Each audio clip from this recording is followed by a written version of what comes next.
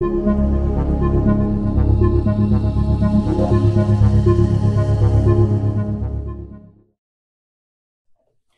everyone, my name is Arsh Sharma and I'm a student at NIT Hamirpur, India. And today I'll be talking about increased code creativity harmony in Javis. So the need for harmony between code and creativity comes from the fact that most existing frameworks in Julia rely heavily on data and there is no abstract way of creating different shapes and animating them without writing lots of boilerplate. And Javis solves these issues by providing powerful animation tools and functions. And this talk features some of the work that I have been doing this summer to make the relationship between code and creativity more harmonious. So the first feature we will be talking about is layers. As you all know, most uh, tools like Photoshop, GIMP, and Inkscape follow a layer based approach towards objects on the canvas. And we wanted to implement something similar in Javis. So objects in Javis can be independent or a part of a layer. They layers help us establish context and allow for independent manipulations to both the object and the layer. And this results in the fact that we can apply actions to objects as well as layers. And finally, layers can also define their own properties such as their own background color, their own size and their own, own frame range in the video. So this is what the syntax for uh, Javis layer looks like. Um, uh, the first we have uh, the frame range as a required argument and uh, the width, height and the uh, center point of the layer are optional arguments and all the declarations for objects that are supposed to be declared for that layer come within the begin and block uh, for that layer declaration. The process for applying actions to a layer is something similar to how we do it for an object and in the right side you can see uh, what this code results in. Um, so the motion of these planets is a layer and we are able to translate it while animating these objects. Um, so uh, having layers brings into additional steps to the rendering process. Uh, initially uh, we used to simply render the entire canvas containing all the objects but now that we have layers we first render uh, the individual layers and save them as image matrices. Then we create an empty canvas and we apply each layer's action uh, to it and we place all the layers uh, as image matrices on that empty canvas.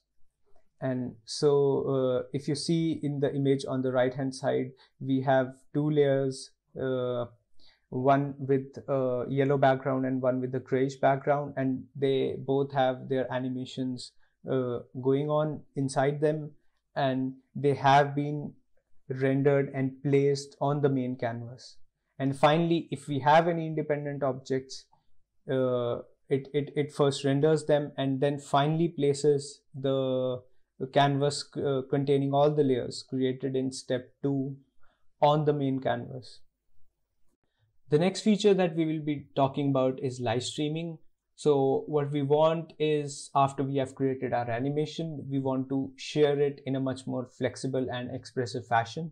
So uh, this feature allows for uh, two more ways to share uh, our animations. One is uh, streaming directly to one's twitch.tv which is a work in progress and second up is streaming to a local network so uh, for creating a live stream uh, we need to create a stream config which is a simple method uh, and for for twitch it takes in uh, the twitch symbol and a stream key from uh, the twitch stream key for a local stream uh, we just need to pass a local symbol and, and then simply pass the stream config to the render function.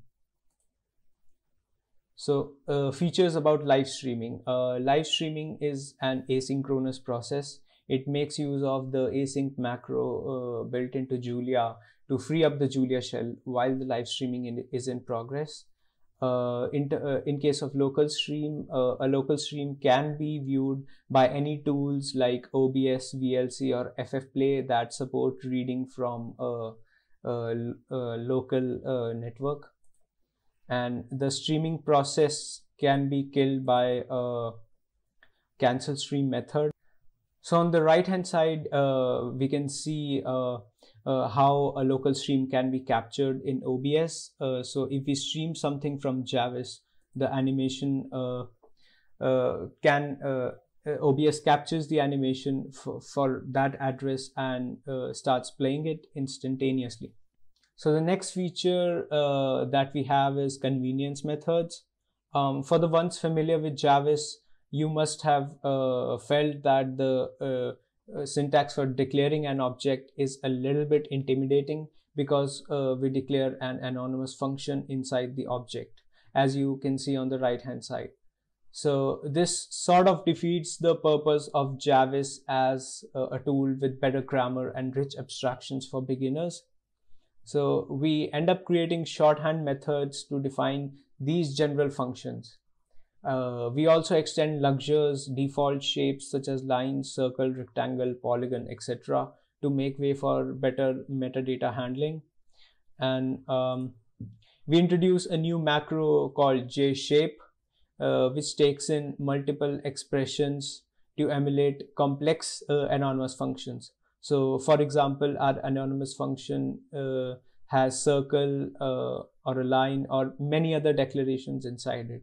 So we can wrap all of it inside a begin and block inside the JShape macro to create abstract shapes as a single object. Uh, the convenience method for other basic shapes uh, are uh, pretty simple. We have JLine, JRect, and uh, similarly other objects that uh, uh, take in their respective arguments. So on the right hand side, you can see a square being transformed into a circle. This is exactly what morphing is. Currently, this is a single step transformation where the final object is not a different object. So I cannot really animate uh, the circle, translate it or change its color after it has been morphed. What we also want to do is support different behavior of morphing. So on the right hand side, you can see an extract from Manim, which is uh, an animation engine written by 3Blue1Brown or Grant Sanderson so here's a summary of what all I have been working on this summer, and I'm excited to hear your suggestions and feedback uh, as to how we can improve these features further. And finally, I would like to thank these people for their constant help, support, and motivation. Thank you for watching this video. Have a great day.